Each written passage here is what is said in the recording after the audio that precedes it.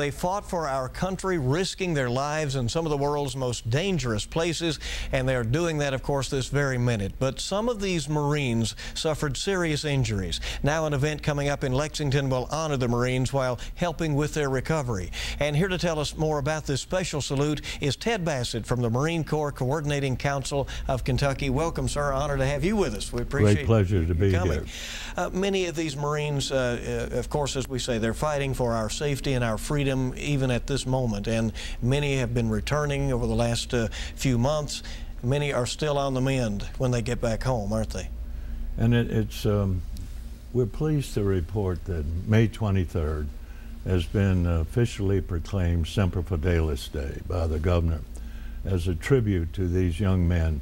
Many of them have served two and three terms of duty in Afghanistan and Iraq, and they're in need of continuing medical assistance and guidance in trying to seek gainful employment. So this is an effort to try to spread the word of the need for us to recognize their valor looking at uh, some video is, uh, you know, we all uh, certainly uh, are proud of the, their service and, and realize that we all owe them a great uh, debt of gratitude for the work uh, that they're performing right now. What, what kinds of needs do they come home with? Well, there are all sorts of injuries. Some of them are limbs and eyesight, others are mental stress. And this is a national endeavor of the Marine Corps of trying to reach out and help them make the transition from the structured military life into the civilian life. And this is trying to under, uh, trying to support the need that is not covered by the government. And uh, we've raised over $12 million in this effort in the last two years across the country.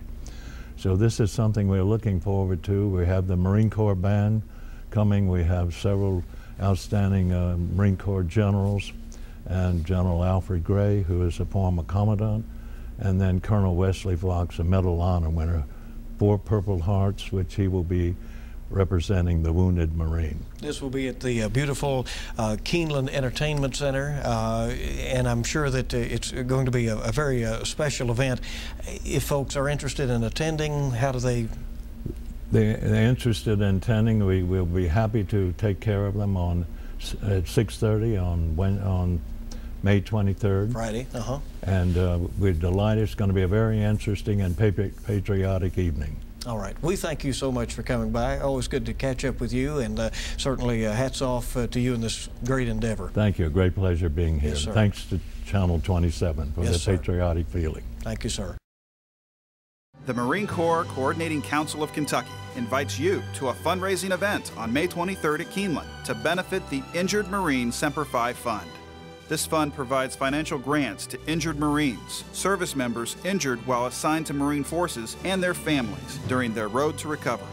Join Marines from throughout Kentucky as they celebrate their common heritage and honor today's heroes. May 23rd at Keeneland. All proceeds go directly to the IMSFF. For more information, visit KentuckyMarines.org.